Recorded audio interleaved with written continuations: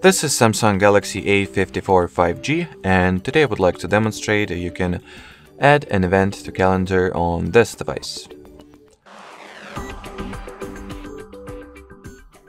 So to start, locate and open the default calendar app, then select the date that you would like to set an event for.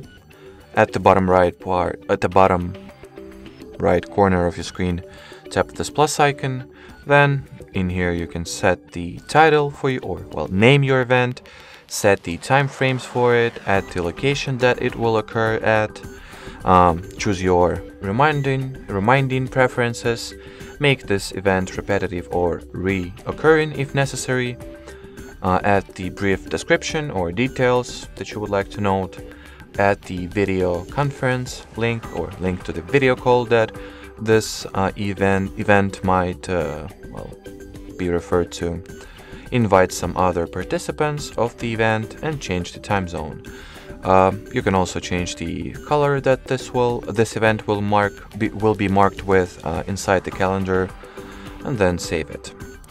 After that, you can tap at the event to see its details, edit those details, or delete the event entirely. Alrighty, so that will be it for this video. Thanks for watching and bye bye.